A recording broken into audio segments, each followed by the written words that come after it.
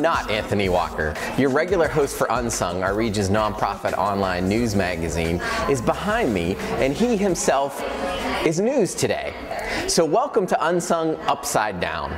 I'm Christopher Whitlach, and I'm filling in for Anthony today, as he is off playing video games. I'm here at Chachi Plays, and we'll have more on that later.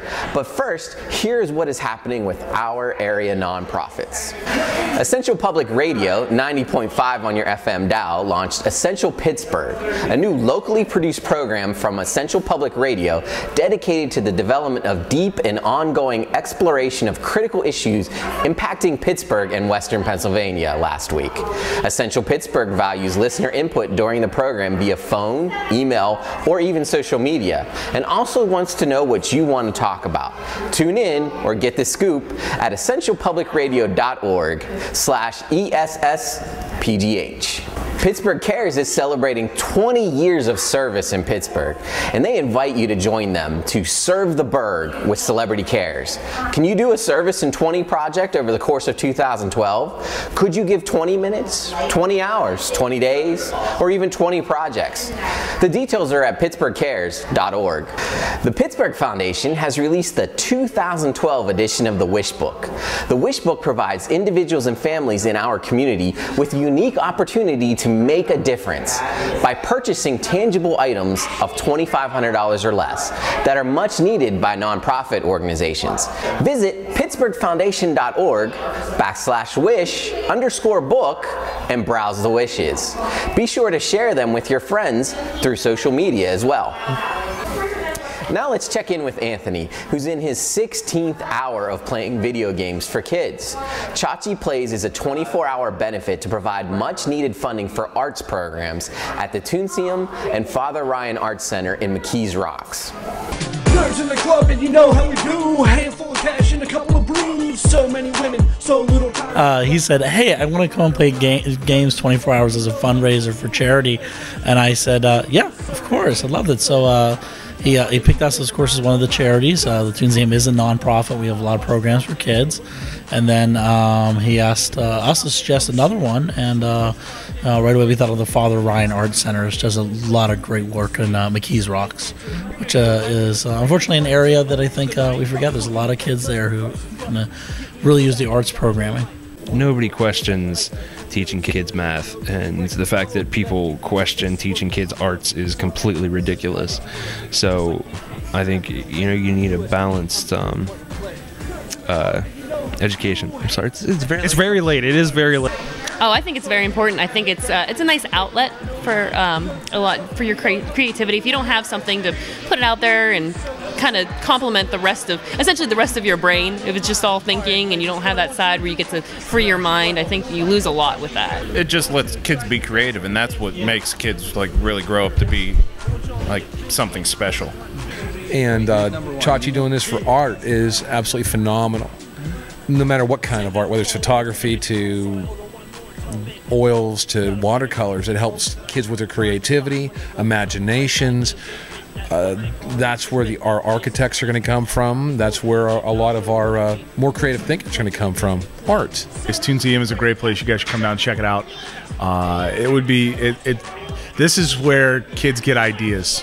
This is where you start to figure out things. This is where uh, you kind of learn about uh, you know the art as a as as a whole and how art is not just pictures or photography or video that you have music and performances and all that other stuff that and, and art is what allows you to be creative because a lot of people don't get that opportunity to do that for most of their life. So art is that release. Like I, I know that many of the art teachers that I've grown up grown up with uh, are really really trying to push art to their students, and it's really important to get that out. And seeing that there's not that many uh, schools with art schools or art classes, it's really good. Like the like for Father Ryan, Father Ryan, right? Father Ryan Arts Center and the Toonseum. And the Museum are doing something to help get the arts going back up in Pittsburgh. Uh, the only thing it's going to improve for next year is bring your A game when you come see Chachi. There you go. There I you mean, go. when you walk in, this kid's he's not messing around. Chach, he's he's he's out there for blood. He's out there for real. He's played the games you played. I mean, You know, we do a lot of events here, uh, and we're a cartoon and comic book museum, so um, we, we have some pretty geeky things happen here. Uh, last night was by far the, the geekiest event we've ever had, though. They definitely kicked the quotient up um, when they brought in the accordion player to play the theme from Tetris. I think that really pretty much that put her over the top. That was some good tunes, some rockin' shit. I met this. You think she plays some Halo? We keep the tech coming in this edition of Unsung as the Pittsburgh Technology Council shares the launch of the Pittsburgh Creative Technology Network. Some really cool things going on in Pittsburgh. Hope you tap into it.